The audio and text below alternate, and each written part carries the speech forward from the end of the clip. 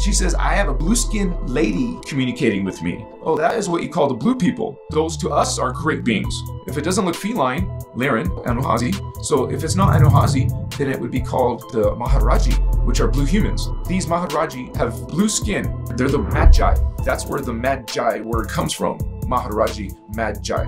And so the Magi, Holy Grail line are the indigos coming through the blue people. You are indigo if you're seeing some blue person. The Azurites have very blue skin. Like there's blue and then there's very blue. So if you're seeing a very blue being with wings, that's an Azurite angel. It is a 48 strand being that is part blue flame, gold flame, violet flame. It has all the DNA in there. That's a spiritual badass dude. And they're blue angels, very blue.